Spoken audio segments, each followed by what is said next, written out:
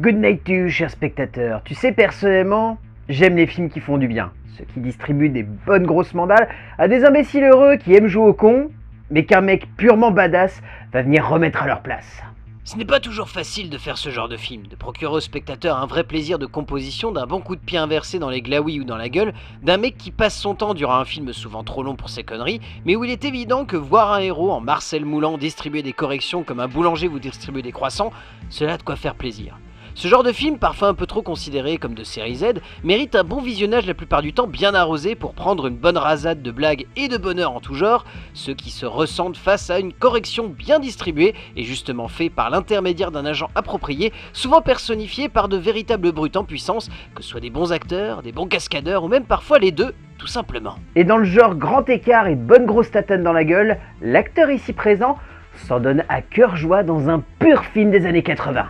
Quand on pense coup de pied, quand on pense arts martiaux, quand on pense frites, on pense forcément au dieu grec de la place du Peace, à celui qui est tout autant capable de nous rappeler qu'il faut boire de l'eau car dans 20 ou 30 ans il n'y en aura plus, qu'il est aware de tout ce qui l'entoure, ou de nous faire voir les mathématiques sous un nouvel angle, au belge le plus célèbre du monde du cinéma après Bonaparte Vord, faut pas déconner. Newt Arnold a fait Jean-Claude Van Damme avec ce film, et Jean-Claude Van Damme a donné tout ce qu'il avait pour faire de Bloodsport un grand moment de divertissement extrêmement satisfaisant pour le spectateur, dans un écrin purement et simplement magnifique, totalement ancré dans une mouvance cinématographique et vidéoludique rare, comprenant comment faire un bon film tout en ayant une forme proche du jeu vidéo d'arcade, et cela pour un moment de cinéma qui est clairement devenu culte avec le temps. Une pure œuvre de genre, en même temps qu'un bon petit plaisir bis. Newt Arnold, et cela se ressent dès les premières minutes de l'œuvre qui se construit devant nous, ne veut pas tergiverser, ne veut pas partir dans tous les sens pour ne pas simplement nous raconter l'histoire d'un combat à mort dans une salle perdue au milieu de la jungle hongkongaise. C'est en cela que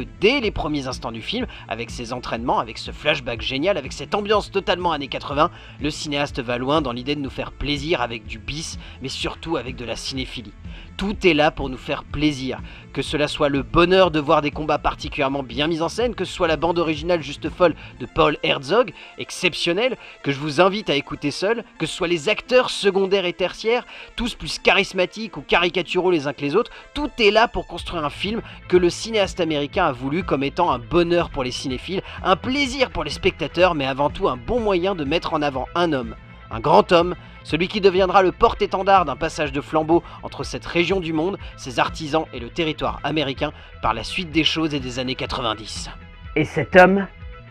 c'est JCVD. Un Belge tout en muscles et tout en sueur, qui délivre ici une prestation absolument folle, possédé même, on peut le dire par moments, par son personnage, ne cherchant pas à le rendre attachant, mais simplement charismatique. Ne cherche pas à en faire un héros plein d'émotions et d'humanité, mais une belle machine de combat qui lui par tous les pores d'une peau magnifiquement huilée, donnant lieu à des combats de fous, et notamment un duel final exceptionnel qui rend tout simplement culte, rien que par sa présence. Bloodsport, c'est un objet culte. C'est une pure perle de cinéma d'action et d'arts martiaux de cette période folle qu'est la fin des années 80, un moment de 7ème art bis et bien simplé comme il faut, mais qui donne lieu à un tel moment de plaisir, de combat, de jouissance même par la juxtaposition de cette ambiance et de ce tout chorégraphié à la perfection. Bref, on est là devant une pure perle de cinéma des années 80 comme on n'en fait plus, qui donne la banane et qui a surtout permis de découvrir un grand homme, un grand belge, le grand JCVD. Rien que pour cela, je pense que je vous ai donné envie de voir le film et vous allez prendre un pied monumental comme ça a été le cas pour moi la première fois que j'ai vu ce petit bijou.